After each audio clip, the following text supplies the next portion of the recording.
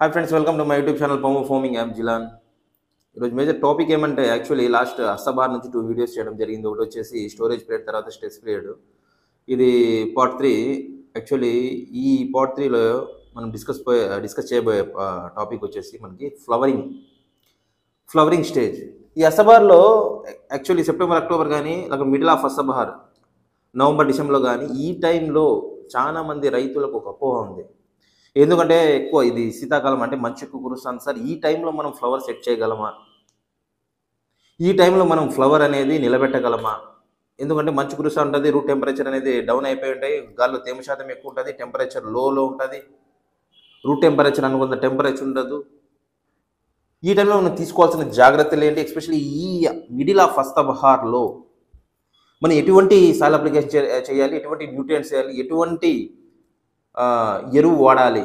అంటే గొర్రెల పేడ వాడాలా లేకుంటే పశువుల పేడ వాడాలా లేకుంటే కోడి పెంట వాడాలా? సో అది మేజర్ ఇంపార్టెంట్ ఎక్స్ప్రెషన్. సో ఏమంటే రూట్ టెంపరేచర్ ఇప్పటి నుంచి చాలా కాన్స్టాంట్గా ఉండాలి. ఎందుకంటే మన టెంపరేచర్ ఎస్పెషల్లీ మన ఏపీ తెలంగాణలో టెంపరేచర్ చాలా వరకు డౌన్ అయిపోతే ఎస్పెషల్లీ ఎటువంటి మనం ఎరువులు వాడి ఎటువంటి సూక్ష్మ పోషకాలు వాడి మనము ఈ టైంలో ఎక్స్పెషల్లీ ఈ మిడిల్ ఆఫ్ నవంబర్ డిసెంబర్లో మనం ఫ్లవర్స్ సెట్ చేయొచ్చు. దాని గురించి డిస్కస్ చేయడం జరుగుతుంది. ఎందుకంటే ఇది depend upon climate condition base చేసుకుని మనం సాయిల్ అప్లికేషన్ చేసిన ఫస్ట్ థింగ్ ఇది. ఫస్ట్ పాయింట్ ఏమి? మనం సాయిల్ అప్లికేషన్ అనేది ఎప్పుడైనా కానీ మన క్లైమేట్ కండిషన్స్ని బేస్ చేసుకొని మనం పెట్టుకోవాలి. పశువుల పేడ ఎప్పుడు పెట్టుకోవాలి? గొర్రెల పెంట ఎప్పుడు పెట్టుకోవాలి? కోడి పెంట ఎప్పుడు పెట్టుకోవాలి? With combination of PK plus secondary nutrient plus micro nutrients ఈ కాంబో ప్యాకేజ్లో ప్లాంట్కి అందియాలి plant at a time plant యొక్క అంటే చెట్టు యొక్క రూట్ టెంపరేచర్ కాన్స్టాంట్గా మెయింటైన్ అయ్యేటట్టు చేసుకోవాలి. అలా చేసుకుంటే మన ఫ్లవర్ అనేది ఇనిషియేట్ అవుతుంది. సో సార్ నేను హెవీగా ఫర్టిలైజర్ అప్లై చేశాను సార్ నేను డిఏపి ఎక్కువ పెట్టాను సార్ నేను పొటాష్ ఎక్కువ పెట్టాను సార్ నేను ఉత్త పశువుల పేడ పెట్టాను సార్ అంటే మనం అనుకున్నంత ఫ్లవర్ రాదు. మనం అనుకున్నంత రీచ్ రాదు. నేను ఫార్మర్స్ లాస్ట్ కొన్ని ప్రీవియస్ వీడియోస్ కొన్ని అగ్రెసివ్గా మాట్లాడినా ఎందుకంటే నథింగ్ బట్ నా బాధ అది ఎస్పెషల్లీ ఎందుకంటే రైతు అనేది ఇంత ఖర్చు పెడుతున్నారు.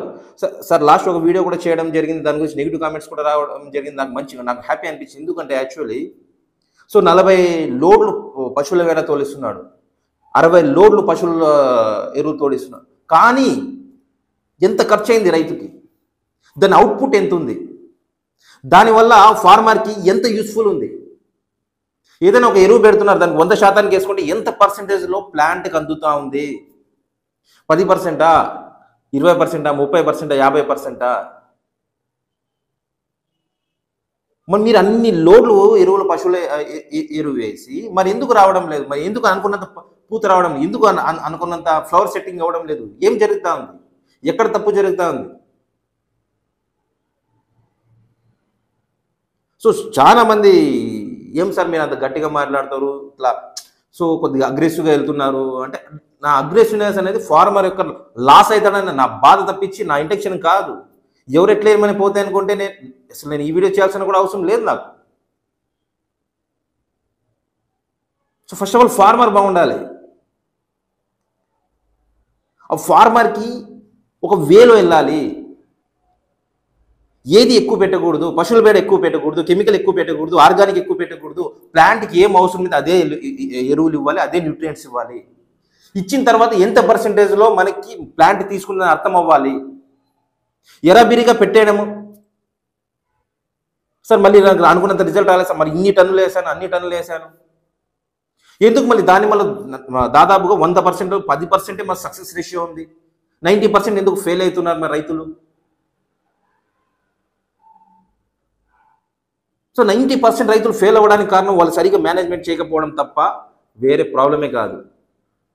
మందులు అనేవి మనం ఎట్లా వాడితే అట్లా యూజ్ రిజల్ట్స్ వస్తాయి. ఎప్పుడు వాడాలి? ఏ టైంలో వాడాలి? ఏ కండిషన్లో వాడాలి? ఏ క్లైమేట్ కండిషన్స్లో వాడాలి? ఏ ఎరువులు ఏ ఎరువులతో కలిపి వాడాలి? ఏ ఎరువులు ఏ వాతావరణం బేస్ చేసుకొని ఏ డోసేజ్లో వాడాలి అనేది తెలుసుకోవడం అనేది చాలా ఇంపార్టెంట్ రైతుకి. సో అన్ని పంటలు వేరు దానిమ్మ వేరు ఫస్ట్ థింగ్ దానిమ్మ కంటే చా- రైతు అనేది చాలా వరకు హైలీ ఇన్వెస్ట్మెంట్ చేస్తాడు. ఎక్కువ డబ్బులు ఇన్వెస్ట్మెంట్ చేస్తారు దానికి. లాస్ వచ్చిందనుకో పెట్టుబడులు కూడా రావు. ఆస్తులు అమ్ముకోవాలి. అలాంటి వాళ్ళని కూడా చూసాము ఈ రీసెంట్ డేస్లో మేము. ఒక్కొక్క రైతు కోటి కోటి రూపాయలు లాస్ వచ్చాను సార్ నాకు రెండు కోట్ల లా- లా- లాస్ వచ్చినాయి అంటున్నారు రైతు. ఎందుకు అంటున్నారు అది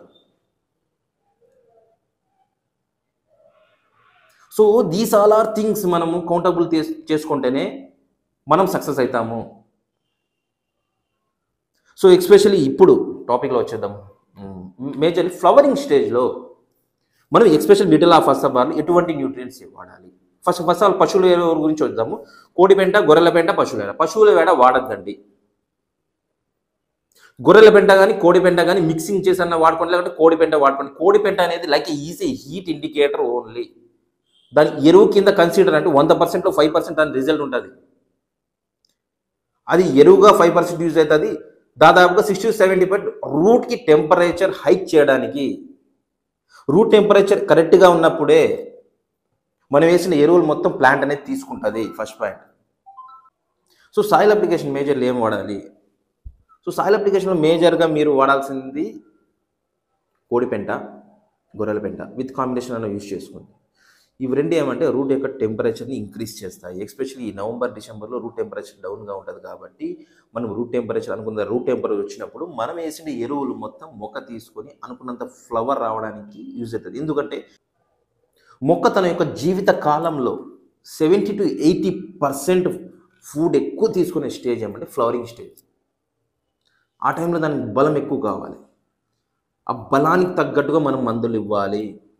ఆ బలం తక్కువైనప్పుడే ఆ బలం తక్కువైనప్పుడే మనకి మగపూత వస్తుంది.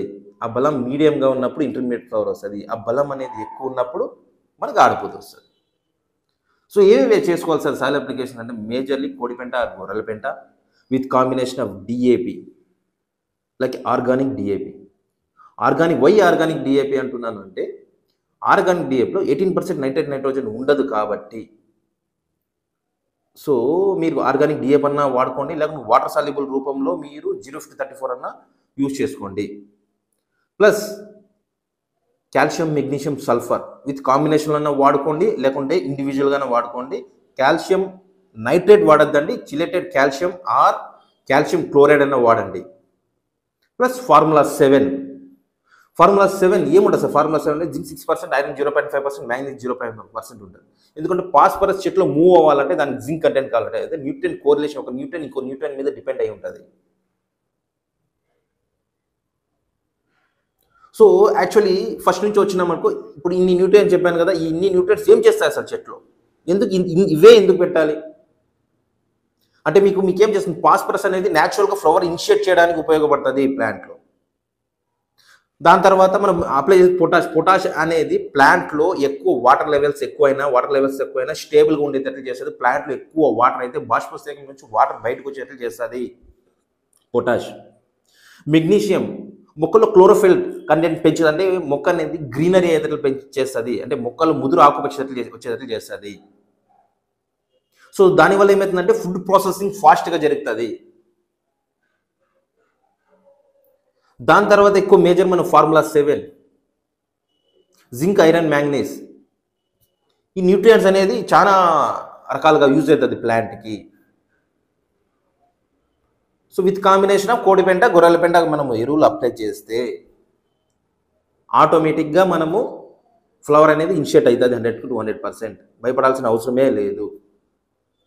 నైట్రేట్ నైట్రోజన్ సంబంధించిన మందులు ఎక్కువ వాడకండి వాడకండి.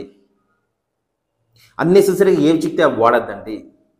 ప్లాంట్ యొక్క ఏజ్ని బేస్ ఇది ఇది ఇది మేజర్ ఇంపార్టెంట్ ఇది. చెప్పడం మర్చిపోయిన ఫార్మర్స్ చాలా మందికి ప్లాంట్ యొక్క ఏజ్ ఫస్ట్ ఇయరా సెకండ్ ఇయరా థర్డ్ ఇయరా ఫోర్త్ ఇయరా ఫిఫ్త్ ఇయరా ఫిఫ్టీన్ ఇయర్ ట్వంటీ ఇయర్స్ దాన్ని బేస్ చేసుకొని ఎరువులు ఇవ్వాలి.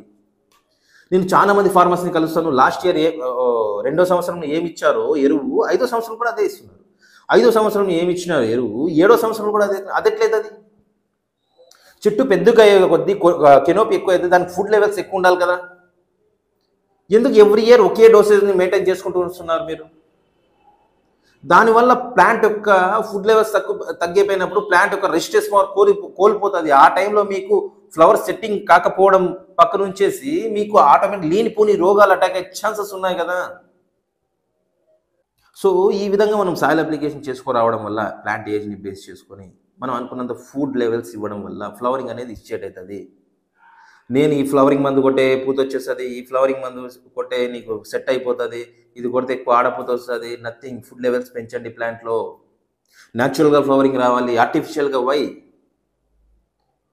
ఫ్లవరింగ్ నేను అసలు ఫ్లవరింగ్ మందులు ఎంకరేజ్ కూడా చేయను. సో ప్లాంట్ ఏజ్ని బేస్ చేసుకొని మనం ఎంతెంత ప్లాంట్కి మన ఫుడ్ అనేది రికమెండ్ చేయాలనేది యాక్చువల్లీ మేజర్లీ మీకు ఎనీ డౌట్స్ ఉంటే కాంటాక్ట్ అవర్ టీమ్. హోమో ఫార్మింగ్ టీమ్ అనేది ఉంది actually. Is not a only one person this is like a చిన్న సైజ్ ఆర్గనైజేషన్ టైప్ ఇది.